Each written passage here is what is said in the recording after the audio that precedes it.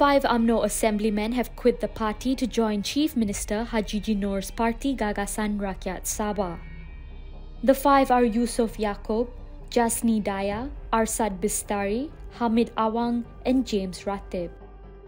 Jasni, James, Yusof, and Arsad were among the five UMNO assemblymen who had refused to be part of a move to oust Hajiji as the chief minister in an attempted coup in January. Meanwhile, three Warisan assemblymen who left the party earlier this month also announced their decision to join Gagasan Rakyat. They are Norazlinah Arif, Chong Chen Bin, and Mohammad Mohamarin.